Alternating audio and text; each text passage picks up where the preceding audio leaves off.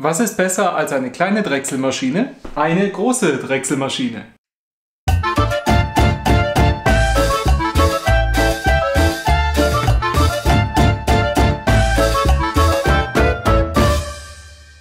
Hi und willkommen beim DIY Place, dem Platz für alles Selbstgemachte. Mein Name ist Klaus.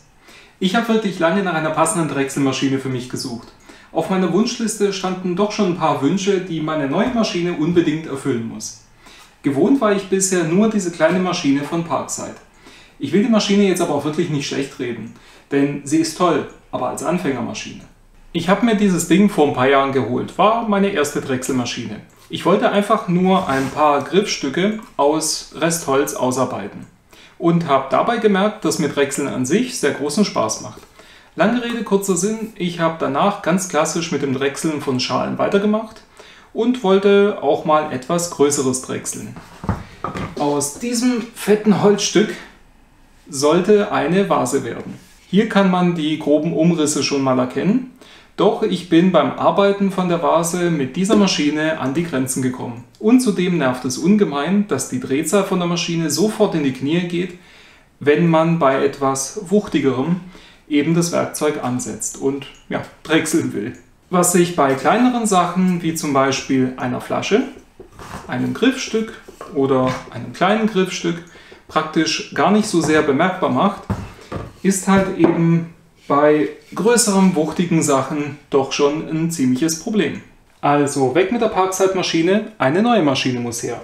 Das ist die Holstar DB900. Die Maschine hat 550 Watt Leistung, eben genau wie die Parkside-Maschine, aber wir haben hier einen wesentlich fetteren Motor mit einer anderen Übersetzung zur Verfügung. Und wenn der erstmal läuft, dann hält man ihn mit einem einfachen Drechselwerkzeug nicht so schnell an, ja, eben wie bei der Parkside. Auf meiner Wunschliste für die Maschine stand, dass sie eben einen ordentlichen Motor haben muss, ist in dem Fall erfüllt, also check. Ich brauche eine Spannweite überhalb von 70 cm. Die Maschine hat 90 cm. Die Maschine muss drehbar sein, damit ich auch größere Sachen drechseln kann. Das ist hier auch gegeben. Ich kann die Maschine um 90 Grad einfach schwenken und dadurch dann eben größere Sachen wie äh, Schalen, Teller etc. einspannen. Und das Maschinenbett muss aus einem einzigen Stück Gussmetall bestehen. Ist hier ebenfalls gegeben. Check. Außerdem kann ich hier Sachen mit einem Radius von 30,6 cm einspannen. Das macht eine Spitzenhöhe, also von der Unterkante von der Maschine bis zur Spitze, von 15,3 cm. All diese Punkte treffen auf die neue Maschine zu. Die Holstar DB900 habe ich am 4.4.2022 von einem eBay-Händler für 674,90 Euro inklusive Lieferung gekauft. Als kleines Extra habe ich mir von einem anderen eBay-Händler ein Vierbackenspannfutter für diese Maschine für 79 Euro bestellt. Links zu den beiden Produkten findet ihr hier unten in der Videobeschreibung. Bevor wir jetzt aber starten, das Ganze auszupacken und natürlich zu testen, worauf ich mich schon sehr freue, hier noch ein paar Kleinigkeiten. Ich habe für dieses Video von keinem Hersteller oder irgendeinem Händler Geld bekommen. Das Produkt habe ich mir von meinem eigenen Geld gekauft, beziehungsweise eher die beiden Produkte. Die Entscheidung zum Kauf habe ich selber getroffen, eben als Erweiterung für meine Werkstatt, ohne Beeinflussung von irgendeinem Hersteller oder Händler. Wenn sich negative Punkte ergeben sollten, werde ich die natürlich unverschönt aufzählen. Daher ist dieses Video eher als neutraler Produkttest zu verstehen und nicht als Werbung. Alles klar? Dann packen wir das gute Stück mal aus.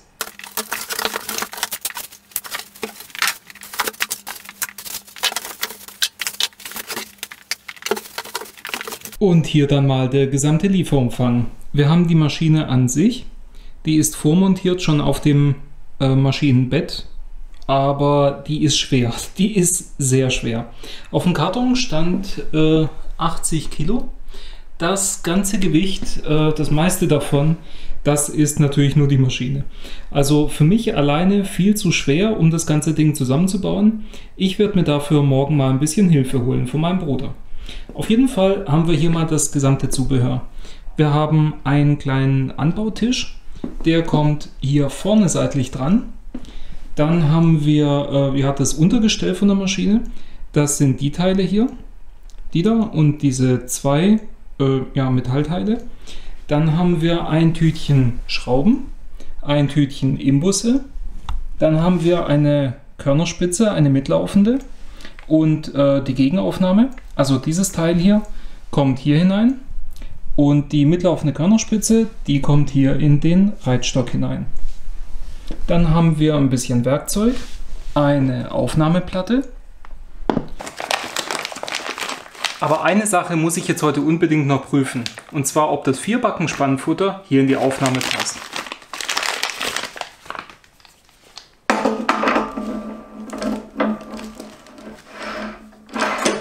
Ja, hervorragend, es passt. Das Ganze macht wirklich einen sehr guten Eindruck und ist ein himmelweiter Unterschied zu der Parkzeitmaschine. Ich bin schon richtig gespannt, wie das Ding hier in Aktion ist.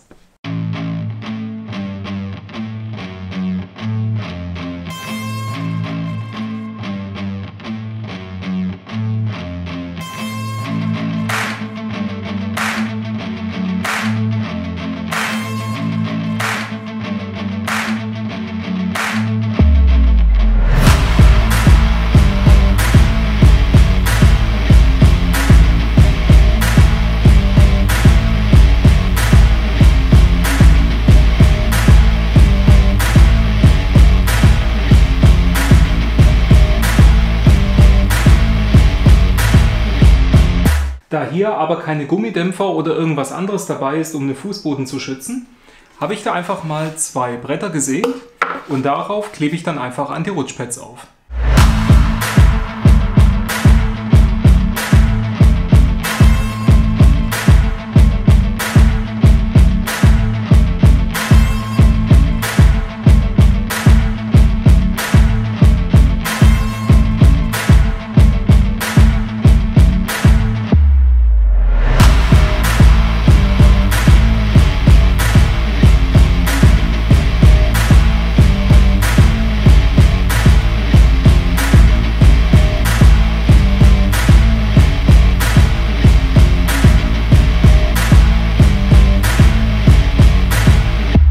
Okay, zwei Liter Spiritus später habe ich jetzt die gesamte Maschine entfettet. Sie sieht sehr schön aus, wie ich finde. Hier bei der Werkzeugauflage habe ich den Arm erstmal entfernt.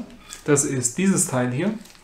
Das ist sehr interessant, denn hiermit kann man nämlich die Werkzeugauflage etwas besser dem Werkstück anpassen. Oder ich kann genauso gut wenn ich die Maschine jetzt einmal rumgedreht habe, dann zum Beispiel einen Teller von hier aus einfach äh, ja, drechseln. Also sehr interessant, aber brauche ich jetzt momentan nicht. Also kommt der Arm wieder weg. Im Übrigen waren ja noch zwei Hebel im Lieferumfang mit dabei, die extra eingepackt waren. Ein Hebel kommt hierher und der andere Hebel wird hier ran montiert. Und zwar kann man ja die Maschine rumdrehen Dazu löst man hier einmal die Spannung, zieht hier diesen Zipfel raus, kann, kann dann die Maschine drehen. Und wenn ich jetzt die Maschine zurückdrehe, seht ihr, schnappt dieser Zipfel da einmal wieder rein, dann weiß ich, ich habe die Position gefunden. Und mit diesem Hebel spanne ich dann die komplette Maschine einmal fest und dann wackelt hier auch nichts mehr. Die gesamte Maschine macht auf mich einen hervorragenden Eindruck. Alle Teile sind sehr gut verarbeitet. Wir haben keine scharfen Kanten oder irgendwelche komischen Gießränder oder so. Alles ist sehr schön plan gefräst. Und hier ist auch alles schön entgradet. Sämtliches Material, sogar die Hebel, bestehen aus Metall, nicht aus Kunststoff. Außer am Reitstock, dieses Rad hier, das besteht aus Kunststoff. Wir haben jeweils beim Reitstock und hier vorne beim Motor einen MK2 Morse-Konus. Da können wir den Stirnmitnehmer, so heißt das Ding nämlich, habe ich gerade mal geguckt, und die mitlaufende Körnerspitze ansetzen. Das mache ich dann gerade mal. Das Ding kommt da rein und das Teil kommt da rein. Mit dem Lieferumfang enthalten ist dann hier dieser Stift und den Gabelschlüssel, das ist ja klar, den können wir hier einfach ansetzen um dann die Spindel festzuhalten, wenn wir hier irgendetwas aufdrehen wollen. Der Stiel ist dazu da, um den Konus hier wieder rauszukriegen. Dafür stecken wir ihn einmal durch die Maschine und drücken das Ding einfach raus. Beim Reitstock funktioniert das Ganze genauso. Werkzeug ansetzen, einmal drücken und wir können den Morsekonus hier einfach herausholen. Das wollen wir aber nicht, weil ich will ja jetzt die Maschine ausprobieren. An der Front von der Maschine haben wir dann hier ein Typenschild nochmal drauf. Hier steht auch nochmal das Gewicht von 80 Kilogramm. Also wirklich sehr schön massiv gemacht. Hier oben haben wir eine äh, ja, Drehzahlanzeige. Hier können wir gar nichts verstellen. Das ist einfach nur eine Anzeige, wie schnell sich der Motor eben dreht. Der Drehzahlgeber sitzt hier unten. Also wenn mal irgendwas sein sollte oder das Ding nicht mehr funktioniert, dann wissen wir schon mal, wo wir ran müssen. Dann haben wir hier vorne auch noch den Ein-Ausschalter drauf. Das ist immer sehr wichtig, denn wenn hier irgendetwas ist, dann kurz draufhauen und die Maschine ist aus. So wie bei allen anderen Maschinen steht der Ausschalter natürlich ein ganz kleines bisschen hervor. Und dann haben wir hier noch die Drehzahlregelung. Die funktioniert mechanisch, also nicht elektronisch. Wir müssen den Hebel einfach nur nach vorne ziehen, dann die gewünschte Drehzahl einstellen, dann wieder einrasten und per Mechanik ähm, wird dann eben der Riemen anders gespannt. Wie schnell sich die Maschine dann dreht, können wir ja dann hier oben einfach ablesen. Da ich jetzt aber gerade die Maschine bewegt und verstellt habe, ist es erstmal wichtig zu überprüfen, ob beide Spitzen auch wirklich gegeneinander stehen. Dazu fahre ich den Reitstock hier mal hin und spanne ihn fest. Sehe, dass er ein ganz kleines bisschen zu hoch steht. Zu hoch ist jetzt sehr merkwürdig. Ähm, das ist jetzt hier so, wenn ich dann hier den Reitstock ein bisschen reindrehe und dann noch ein bisschen weiter reindrehe, dann löst sich der Konus. Auf jeden Fall setze ich im komplett eingefahrenen Zustand den Konus ein, dann rattert er. Und dadurch hat jetzt gerade eben die Spitze überhaupt nicht gestimmt. Und jetzt, wenn ich ihn erst ein bisschen rausfahre und dann den Konus einmal reinwerfe, dann sitzt der bombig. Muss man auch erstmal wissen. Jetzt fahre ich ihn noch ein ganz kleines bisschen raus. Ach so, habe ich jetzt ganz vergessen zu erwähnen. Bis auf 6 cm rausfahren. Und dann nehme ich mir hier einfach mal ein Holz, das schon rund ist und werde hier einfach mal äh, ja, ein bisschen drauf losdrechseln.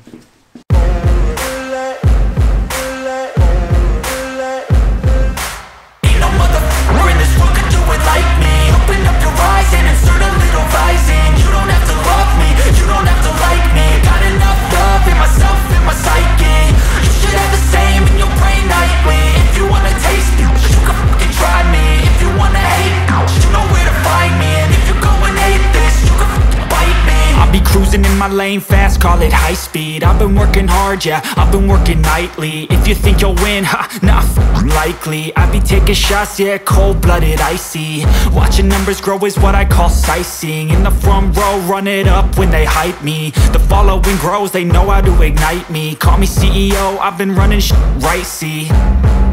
And I ain't playing games, I create my own lane Making pleasure out of pain, uh Turning losses into gains. I'm the boss, I'm making change. I've been rocking this exchange, uh. Popping off and risking things. Gonna make a name. I just wanna be famous. But I don't want that cheap fame. No, I'm not that vain. I just wanna be greatness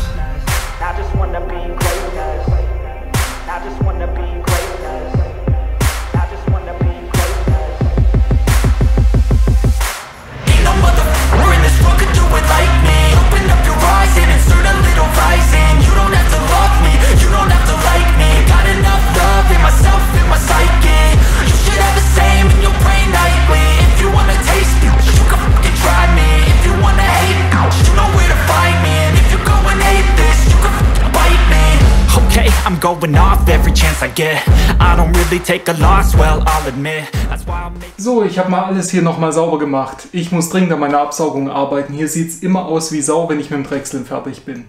Insgesamt habe ich jetzt vier Tage lang mit der Maschine gearbeitet. Ich habe meine beiden Vasen fertig gemacht, was mich richtig freut. Dabei habe ich aber festgestellt, dass mir noch einiges am Werkzeug fehlt, um Sachen neben auszuhöhlen. Da muss ich wohl nochmal einkaufen gehen. Mit der Maschine habe ich bisher eckiges Holz rund gefräst, habe meine beiden wuchtigen Vasen fertig gemacht und über 30 Knöpfe hergestellt für meine neuen Schubladen. Und jetzt wird es mal Zeit, die Maschine zu bewerten. Dazu habe ich mir mal ein paar Notizen angefertigt. Erstens, die Maschine ist geil. Nee, jetzt mal im Ernst. Der erste positive Punkt ist die Verarbeitung von der Maschine. Alle Teile bestehen aus massivem Metall, sind sehr gut verarbeitet, sehr schön abgerundet. Es gibt nirgendwo an der Maschine irgendwelche scharfen Kanten. Sogar diese kleinen Hebel hier bestehen aus Metall bzw. aus Aluminiumguss. Lediglich ein einziges Teil besteht aus Kunststoff. Und zwar hier hinten das Rad am Reitstock. Der zweite positive Punkt ist die Leistung von dem Motor. Der Motor hat 550 Watt, genau wie die kleine Parkside Drechselmaschine, aber die Drehzahl ist wesentlich schneller aufgebaut und ich habe wesentlich mehr Power zur Verfügung. Wenn ich zum Beispiel die große wuchtige Vase einspanne, dann ist die Drehzahl, ja, wie gesagt, super schnell aufgebaut. Ich kann also gleich anfangen zu arbeiten. Und wenn ich das Werkzeug mal mit ein bisschen mehr Druck ins Material schiebe, sinkt die Drehzahl kaum ein. Und der nächste Punkt ist, die Maschine ist vibrationsarm. Obwohl ich die Maschine nicht am Boden angedübelt habe und sie hier nur auf den USB-Brettern mit Anti-Rutschpads drunter steht, haut die Maschine selbst bei größerer Umwucht nicht ab. Das liegt einfach an der Bauart an der Maschine und natürlich am Gewicht. Und der letzte Punkt ist die Präzision von der Maschine. Sie hat einen sehr schönen spielfreien Rundlauf. Das Umschalten von den Gängen funktioniert perfekt und sauber. Hört mal.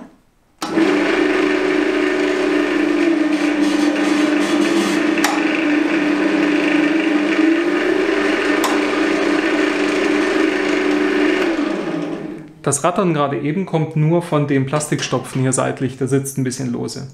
Und dann kommen wir mal zu den negativen Punkten. Es gibt zwar nicht wirklich viele, aber ein paar habe ich hier wirklich gefunden. Sie sind allerdings nur sehr klein, aber ich will sie euch trotzdem nicht vorenthalten. Punkt Nummer 1 wäre die Sicherheit.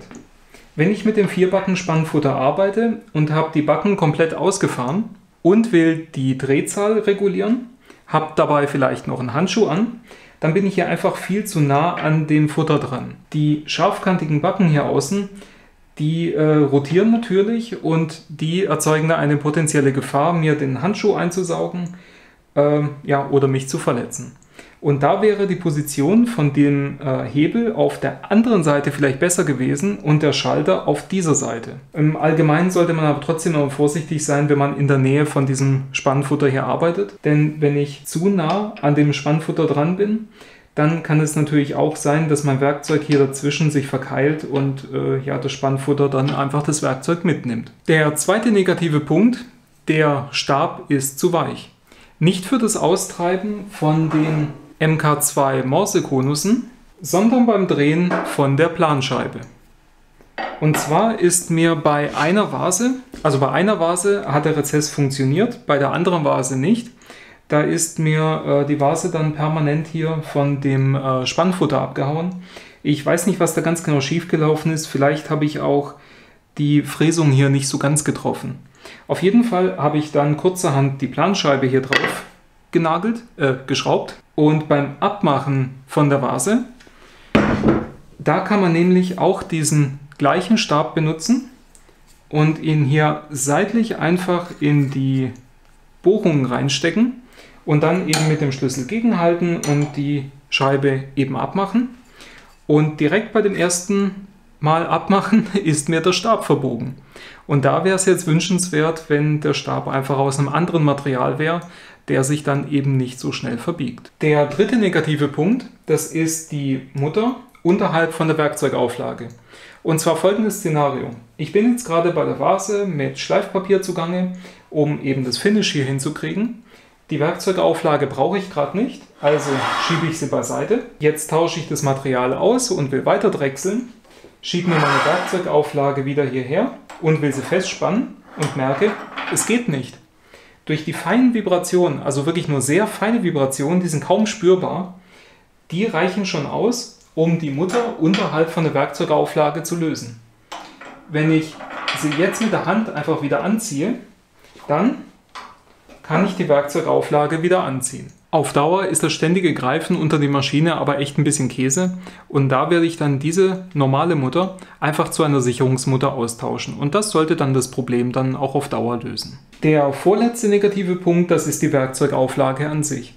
Und zwar hatte ich am Anfang das Problem gehabt, ähm, als jetzt hier noch überall Lack drauf war, dass mir das Werkzeug selbst immer in dem weichen Lack stecken geblieben ist. Wenn ich also das Werkzeug über das Werkstück an sich bewegen will, dann ging das am Anfang gar nicht, weil der ganze Lack hier ständig das Werkzeug blockiert hat. Hier bei dem blanken Metall, könnt ihr halt sehen, kann ich das Werkzeug gut bewegen. Und hier, wo noch Lack vorhanden ist, da bleibt das Werkzeug dann direkt hängen. Und das ist einfach etwas unpraktisch. Letzten Endes ja auch nicht wirklich ein Problem, denn ihr seht es ja auch schon, den Lack muss man einfach nur wegkratzen und dann funktioniert es auch. Und hier wäre vielleicht eine andere Oberfläche von Haus aus einfach wünschenswert. Und dann kommen wir mal zu dem letzten negativen Punkt. Der Motor ist belüftet nur dann, wenn er läuft, durch einen Propeller, äh, ich nenne es einfach mal Propeller, hier seitlich am Motor. Läuft der Motor, wird die Luft in diese Richtung von dem Motor geschoben, kann aber hier nirgendwo weiter, also staut sich an dieser Stelle und das richtig Negative an diesem Punkt ist, der Feinstaub, der hier erzeugt wird, wird durch den Motor angesaugt und direkt in das Case hier hineingeblasen. Und hier sitzt ja die Übersetzungsmechanik drin. Und da interessiert es mich jetzt mal, was nach vier Tagen Arbeit hier drin gelandet ist. Und da machen wir jetzt mal kurz das Case auf. Ich habe jetzt gedacht, es ist schlimmer, was hier drin gelandet ist. Aber es ist echt nur minimal. Hier am Motor hängt ein bisschen was. Und äh, ja, der Riemen ist soweit in Ordnung. Hier seitlich an dem Verstellrad hängt ein bisschen was. Also das ist aber wirklich nur dieser super, super feine Staub. Also von daher ist alles im grünen Bereich. Der Motor selbst, der wird nach äh, ja, ungefähr anderthalb Stunden, wenn man damit gearbeitet hat, wirklich brutal heiß, dass man ihn kaum anfassen kann.